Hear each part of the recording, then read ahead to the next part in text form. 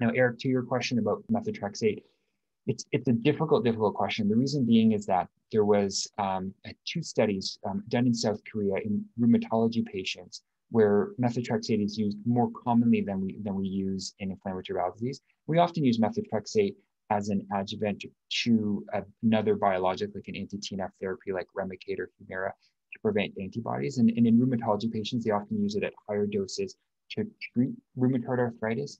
So there was a study done not on the COVID vaccines, but on other um, vaccines. I believe it was influenza vaccine that said if you stop the methotrexate um, within two weeks, um, you had a, a, better response to the to the vaccine. Again, in, in the concept of mounting um, antibodies. Um, that doesn't necessarily mean that you had no response. It was just a little bit of a better one.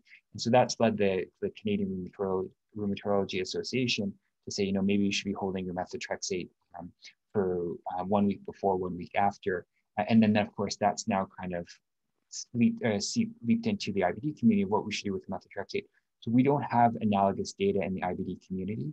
And you have to remember that if you hold methotrexate, the trade-off is, do you do you like start to develop um, a flare if that's your primary treatment?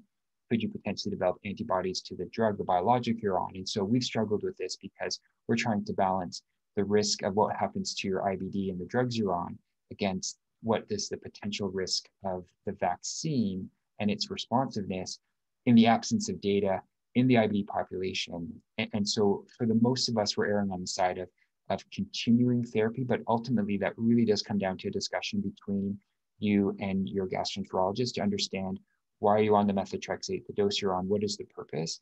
Um, and, and if there's a concern, it's your gastroenterologist saying, you know, this is the reason. And I think it's really important that you don't stop your methotrexate for this reason or this reason. Or they might say, you know what, maybe if you feel strongly about it, you can hold it and, and it's less of a risk, but it's going to be different from person to person. And that's why it's hard for us to say a universal statement here, here on this platform.